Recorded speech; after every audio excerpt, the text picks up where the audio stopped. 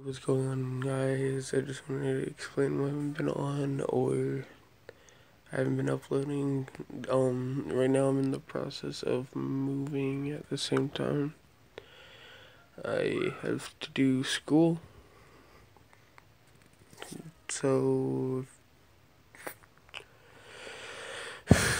if you ever think I'm on any of my accounts, probably not last time I was on was like a couple days ago, and I only played with a bot just to see what my shot would be like on my hypocrisy account.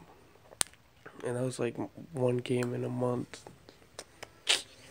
So, yeah. I probably won't be uploading or playing anytime soon. Uh, just wanted to say that so in case anybody tried to fake a game, Exano vibes, uh, that you know it's fake. And yeah, peace.